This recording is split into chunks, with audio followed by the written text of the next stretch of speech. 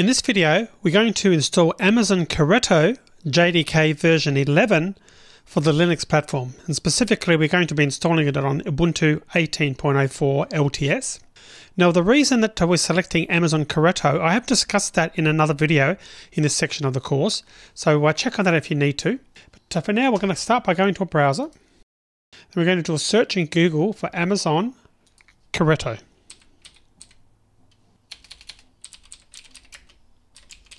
C O R R E T T O, and we'll click on to go to that page. Come over here and select Download Amazon Corretto 11.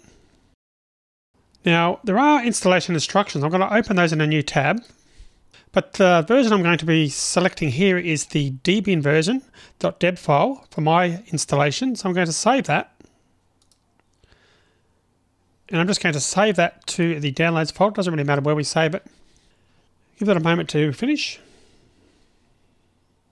Now, obviously, there's also an RPM version if you're running Red Hat or some other uh, distro, and there's also a .tar.gz version there as well if you need that.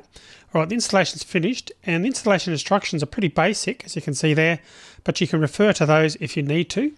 For now, what I'm going to do is go to the terminal to do the rest of the installation. All right, so I'm just going to, I'll actually put the instructions over to the left there. So I'm going to start by going into the downloads folder, cd space, then a tilde forward slash downloads with a capital D, because that happens to be the folder on this version of Ubuntu that uh, the file has been downloaded to. The next thing I'm going to do is follow those instructions in the browser. I'm going to type in sudo apt get apt-get space update space two ampersands sudo apt-get with a space obviously space install space Java Common. Type in my password. Give that a moment to complete. And next thing we're going to do is install the installation file, in this case the uh, .deb file. So I'm going to type sudo space dpkg space dash dash install space and the name of the file there. I'm just going to type the first two letters and press tab. And that's our Java 11 debian file. All right, so that's it. It's a pretty simple installation, as you can see there.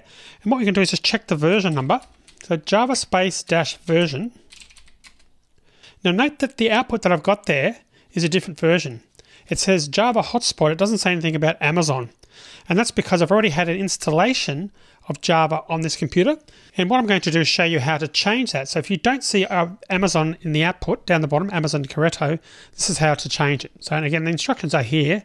So it's pretty straightforward. Firstly, we need to uh, type sudo space update alternatives, update dash alternatives, space dash dash config space Java. You get presented with this option. The option we want to select here is option one for Java. So you can see that it, uh, instead of using the Oracle version that I've got configured as option two, there's selection two, I'm going to use option one. And I'm also going to do exactly the same. I'm just going to press the up arrow and change Java to Java C. And I'm also going to select option one as well.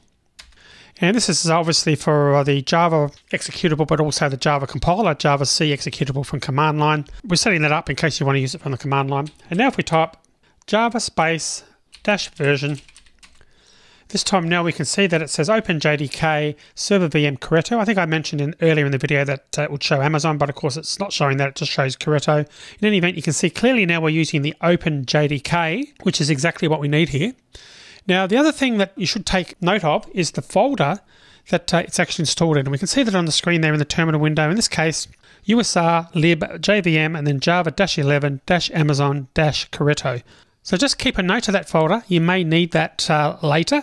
But for now, though, that's the installation of Amazon Corretto JDK version 11, the OpenJDK installed successfully on Linux.